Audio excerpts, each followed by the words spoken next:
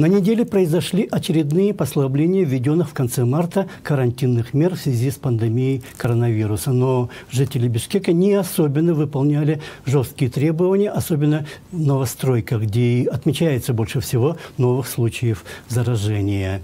В европейских странах тоже стали отменять жесткие меры. Некоторые предприятия начали работать, но Еврокомиссия призвала страны-члены ЕС снимать ограничения постепенно и с учетом местной санитарно-эпидемиологической обстановки. Немецкий институт вакцин имени Пауля Эрлиха объявил, что в каждой стране должно быть наготове достаточно отделений интенсивной терапии и мест в больницах на случай второй волны. В США профессор Роберт Редфилд, возглавляющий Центр по контролю и предотвращению заболеваний США, заявил на слушаниях в Комитете по вопросам здравоохранения в Сенате, что эпидемия пока не под контролем. Его поддержал и главный инфекционист страны Энтони Фаучи.